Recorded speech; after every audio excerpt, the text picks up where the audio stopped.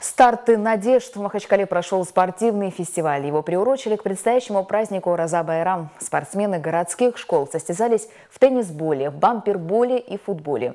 Какие сюрпризы ожидали участников, расскажет Гаджимурат Зиудинов. Мы готовимся к празднику. Вон шары. Вот занимаются футболисты. Ну, всякое делают, чтобы праздник был готов.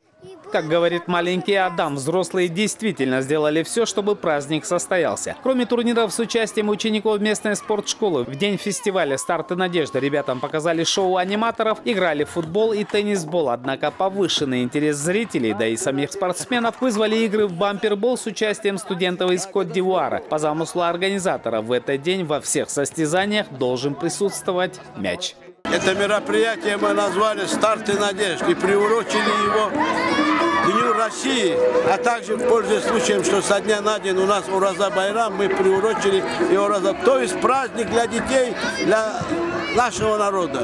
Праздником всем! Да здравствует Россия! Накануне чемпионата мира по футболу FIFA 2018 представителей всех видов спорта объединил Его Величество футбол. В импровизированных состязаниях участвовали юные тайквандисты, каратисты, кикбоксеры и даже шахматисты.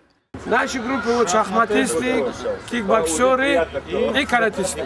На сегодняшний день мы с футболисты играем в футбол, э, потому что футбол это игра э, всемирная. За вклад в развитие детско-юношеского спорта и организацию праздников День защиты детей родительский комитет вручил благодарственное письмо Александру Маркарову. В свою очередь директор спортшколы отметил всех лучших игроков фестиваля грамотами и памятными кубками.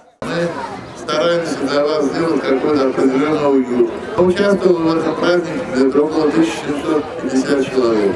В общем, по всем группам, по всем нашим отделениям. Поэтому наиболее достойные у нас будут награждены вот эти памятными призами, памятными кубками, дипломами.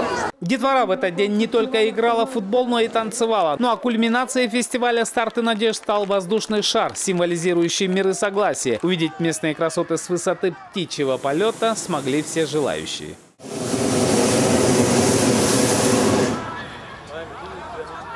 Гаджимурат Зеудинов и Расхан Мистриханов, Рамазан Амаров. Время новостей.